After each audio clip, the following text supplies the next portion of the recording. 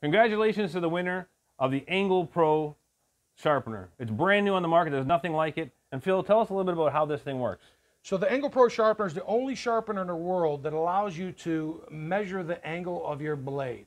Once you figure out the angle of your blade, you then use the corresponding wheels to either hone it, these are ceramic, sharpen it, Sharpen was the answer, by the way, for the for those of you who are guessing. there you go, these are diamond wheels, or put a brand new edge using the tungsten carbide rods. And if you're honing it, you just place the blade in there, you're gonna pull it through about 10 times. That straightens the edge without taking any metal off. If you sharpen it, you're gonna pull it through five to seven times, and that's going to take a little bit of the loose metal off and straighten the edge, or you can pull it through the tungsten, and that puts a brand new edge on it. And that's all there is to it. Thanks, Bill. We really appreciate the giveaway. Thank you.